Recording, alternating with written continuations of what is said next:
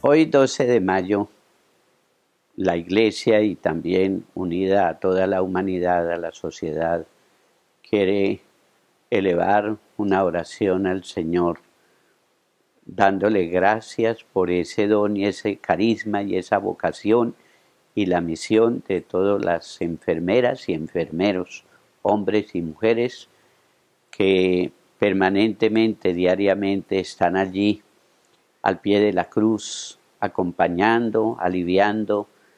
eh, escuchando, atendiendo a los frágiles, a los que sufren a causa de la enfermedad y mucho más en este contexto de la pandemia,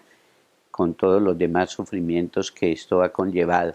Yo quiero darle mi saludo a todos los trabajadores de la salud, especialmente que están en esta hermosa profesión, vocación y misión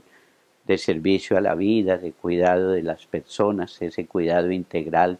de los cuerpos y de las almas de los seres humanos.